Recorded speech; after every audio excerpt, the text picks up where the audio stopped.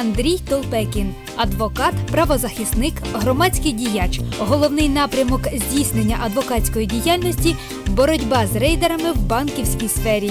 Юридичний стаж 20 років. Доброго ранку. Дякую, що долучаєтесь до нашого ефіру. Перше запитання буде узагальнююче. Я б його назвала таким бліц запитанням. Так брати чи не брати кредити?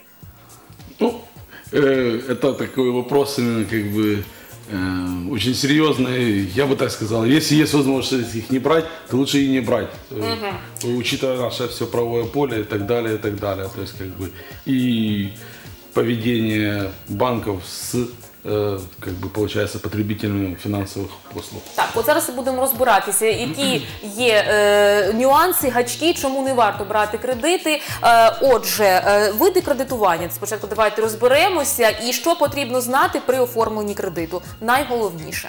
Ну, в первую очередь, э, э, прежде чем брать кредит, э, надо знать свои права. Это есть основной закон про захист прав споживачів. Там есть статья 11, четко расписано все, то есть надання финансовых послуг и то, что именно э, все права, которые там э, предусмотрены, э, и что ну, нужно знать при э, взятии кредита, то есть эти все права детально изучить, что обязан банк предоставить, какую информацию при взятии кредита. То есть полный э, развернутый именно расчет э, тех комиссий, дополнительных э, процентов и так далее, и так далее, который должен именно непосредственно в графике при взятии именно, то есть кредита, должен банк предоставить э, полностью именно развернутую информацию, что ждет именно непосредственно заемщика при взятии кредита и потом впоследствии его выплаты. Так, у банку працівники зобов'язані усно передати ту інформацію, яка написана а, правова у цьому кодексі споживчому, чи ні? Чи ми маємо вже прийти обізнаними і прочитаними? Чи все ж таки вони мають усно розказати нам наші права? Э, В любом случае, именно о том, что вы как бы при э, ну, предоставлении кредита, э, это предусмотрено законом, в письменном виде, не устно, они должны предоставить, что э, э, интересует в первую очередь заемщика. Его интересует, сколько же он взявший кредит, сколько он будет платить именно в месяц и в конечном итоге выплатит банку по окончанию кредита э, сверх того, что он взял, да. То есть, как бы, как правило, у нас э, очень часто людей вводят именно э, как бы в заблуждение и не предоставляют данную информацию, полную, как говорится, совокупную именно стоимость данного кредита с его всеми дополнительными комиссиями. Подводными камнями Да, там очень да? просто как бы часто а, банки страховки, которые они навязывают, люди подписывая скрытыми условиями, которые якобы, то есть когда оформляют, тут я хотел бы сказать, э, часто когда кредитные карточки берут, да, в банках, а, им они оформляют просто заявление, Да. и там мелким шрифтом всегда написано, вы ознакомлены условиями предоставления банковских услуг. Я вам хочу сказать, и, и эти условия, основные именно, то есть которые находятся, там написано очень мелким шрифтом, а, а, находятся на официальном сайте банка. Так вот, я хочу сказать, в этом заявлении, которое э, э, ну, содержит там, например, три абзаца, практически нет никакой информации. А в этих условиях люди просто не зная мелким шрифтом все условия, которые и подводные все камни, э, которые э, э, размещаются на официальном сайте, которые не подписывают именно заемщик, и в глаза их не видел. Соответственно, э, составляют где-то там 10-20 листов, э, что, как правило, когда я ознакомлюсь и предоставляю эту информацию э, клиенту, когда он уже попал уже в эту э, долговую яму, э, соответственно, он там везде не прав, везде должен, должен, должен. Там просто э, ну, такие критические нарушения просто прав э, заемщика. Така хитрість номер один, вона така наймасштабніша, так? От ваша порада тоді що? Е, Заходити одразу на сайт з роздруківкою вже до них приходити, Е, е, чи, чи як бути? Тому що вони все одно будуть продовжувати так робити, В первую правильно? очередь, именно всегда я хотел бы, чтобы э, заемщики при взятии каких-то кредитов, они обращали внимание на мелкий шрифт в тех договорах или э, документах, которые они подписывают. Э, как только вы замечаете, что там меньше именно шрифтом написано какие-то условия, обратите на это внимание.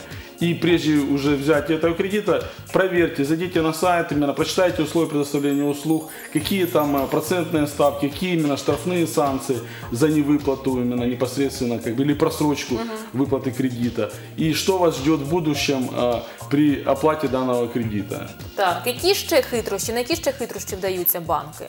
От окрім ну, цього. очень часто, именно, как я хотел бы сказать, когда пишут 0% ставка и так вот вы далее. підійшли до это цього, особенно так. потребительские кредиты і так далі. От ми бачимо усміхнені реклами біля метро, на ринках, швидко гроші за 20 хвилин, нуль відсоткові безвідсоткові кредити. Давайте прокоментуємо це все. Чи так воно смачно, як це нам розповідають?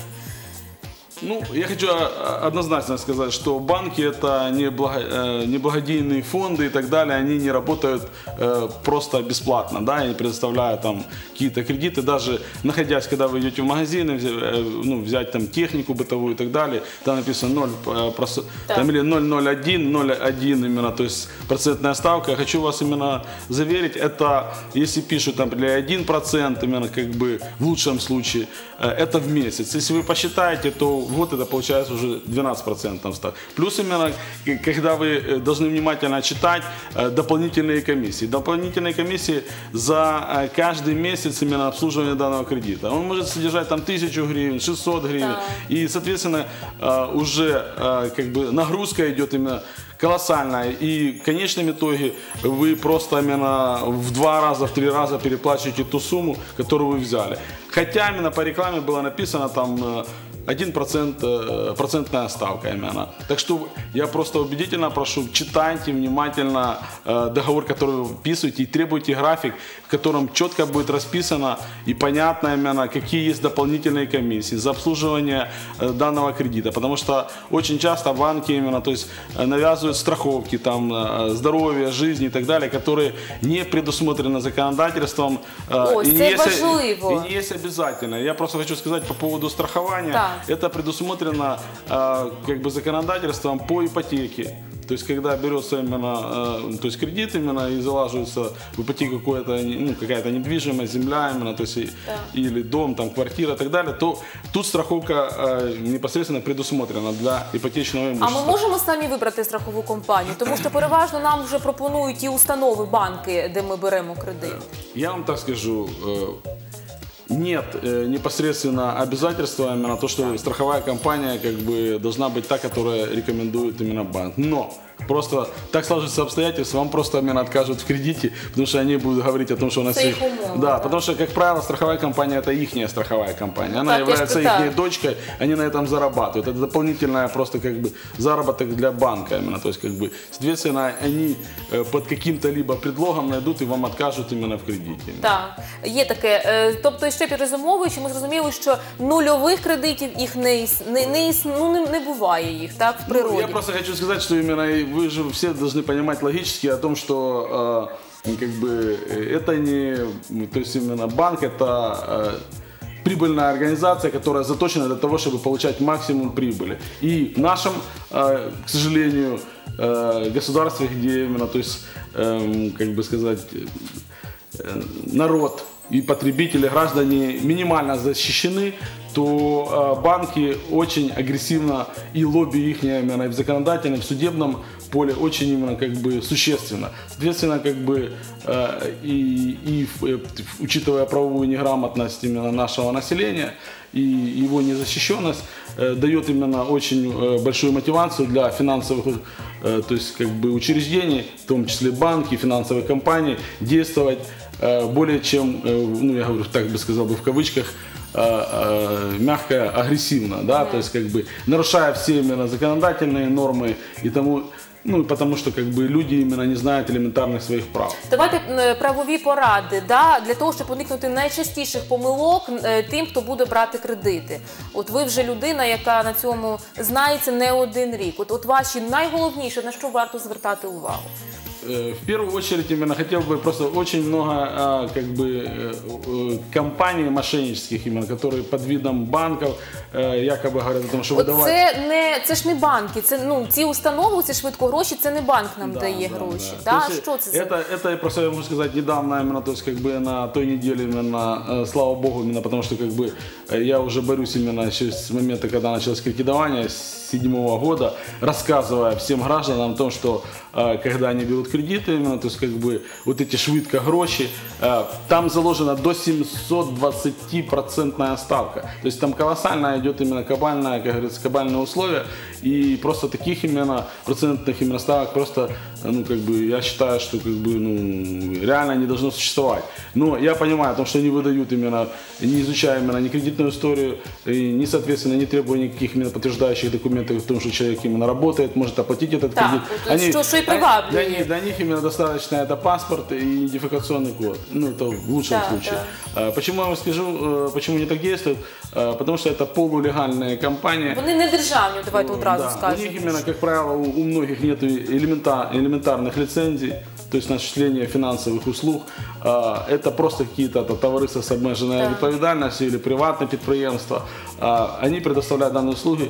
Я просто хочу сказать, э, как правило, э, если бы у нас бы правоохранительные органы работали достаточно эффективно, э, то как бы данные именно компании именно уже давно бы были бы, как говорится, э, закрыты и при- и определенные лица были привлечены к уголовной ответственности. Но, слава богу, я хочу сказать именно первый месседж именно э, э, в- на той неделе Служба безопасности Украины провела рейды, ответственно начала привлекать данных именно лиц, которые осуществляют агрессивную как бы э, действия в отношении заемщиков, которым они выдали кредиты. Почему? Потому что они э, нач- на- э, начали угрожать начали именно совершать определенные действия противозаконного характера, выбивая данные э, Так, кредиты, э, как, как получается, как э, в 90-х, да, получается, там обливая именно там фекалиями, там, то есть как бы, эм, как бы доводя именно непосредственно заемщиков до полного, как говорится, там нервного срыва, что я хотел бы сказать, я всегда говорю именно о том, что, э, что люди бы знали именно, то есть как бы есть статья 355 Уголовного кодекса, четко которая э, ну, содержит именно о том, что если кто-то кому-то одолжил даже деньги, если он э, э, как бы э, хочет или требует именно возврат этого деньги и э, угрожает, ну там, жизни, здоровью или близким, или вашему имуществу. Четко этой статьей прописано э, в том, что данное лицо, то есть э, понуждение к выполнению каких-то гражданских правовых обязательств, в нашем случае Да. кредитов, или там позыки, или то, что вы взяли деньги в долг, это не касается только банков. Это также, э, потому что мы живем в цивилизованном мире. У нас единый орган, который разрешает будь какие-либо споры, это суд. У нас нет именно такого как бы момента о том, что я тебе одолжил деньги, ты пришел и начинаешь мне рассказывать, что тебе будет плохо. Как только вам такое говорят, вы сразу же должны писать заявление э, по статье 355. Я просто тебе говорю, потому что она полумертвая была. Ну, э, слава богу, что уже на сегодняшний день правоохранительные органы, органы службы безопасности Украины э, как бы реабилитировала эту статью и, соответственно, данных лиц по квалификации данной статьи э, начала привлекать. Так, отже, виходячи із цього, в таких установах брати кредит це табу, не варто цього робити. Е, Далі, якщо ви вже берете кредити, то варто їх брати в банку і читати все, що написано. Так Э, і В первую очередь хочу сказать, ни в коем случае не брать в этих швидко гроши. Это Да. просто полулегальные компании. Э, э, В любом случае э, там а, будут содержаться такие условия, которые вы практически не выполните. И после этого у вас начнутся большие проблемы с лицами, как бы сказать, именно с криминальным прошлым, это в лучшем случае. А, Соответственно, если вы уже попали в данную ситуацию, то вы знаете, что э, законом, уголовным кодексом предусмотрена статья 355 уголовного кодекса, на основании которой вы можете привлечь данных лиц к уголовной ответственности. так, зрозуміло. Я вам щиро И дякую. берите именно, э, ну, если вы хотите кредит взять, то в банке. Как минимум в банке, который имеет соответствующую аккредитацию, есть у него определенные лицензии. И внимательно читайте те условия, которые вы подписываете. И еще советую, прежде чем подписывать, обратитесь к адвокату, и чтобы он детально изучил, который в этой сфере разбирается. И он уже дал свое именно, э, как бы, э, Экспертное выставок, за- выставок, да, заключение, именно да. заключение по поводу того, что заключать вам этот договор или нет. Зрозуміло. Думаю, що це найоптимальніший варіант поради. Нагадаю, Андрій Толпекін, адвокат, був у нас. Ми розмовляли розбиралися, чи варто брати кредити, як не потрапити в боргову яму і замість грошей не заробити собі проблем.